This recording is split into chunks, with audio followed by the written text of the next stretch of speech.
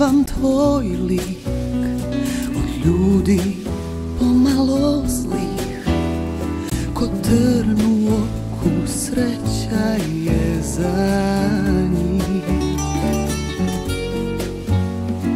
Nije mi teško jer znam Sa tvog su mi lica dar. I suze i smeh Za dušu su lek Od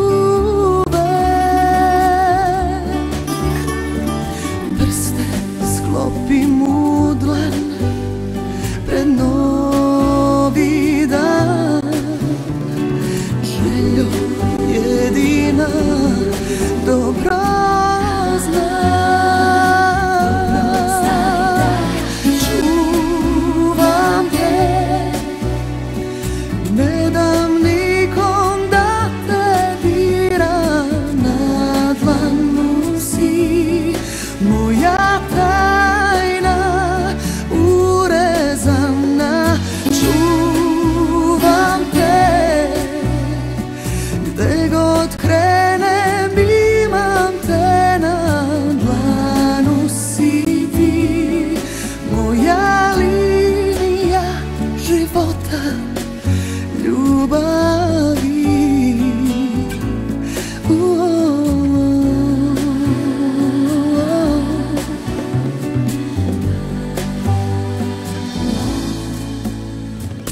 Vešto skrivam tvoj lik.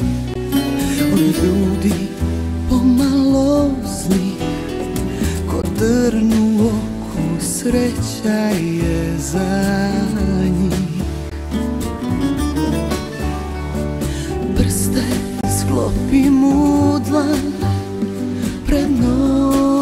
novi dan Željo jedina dobro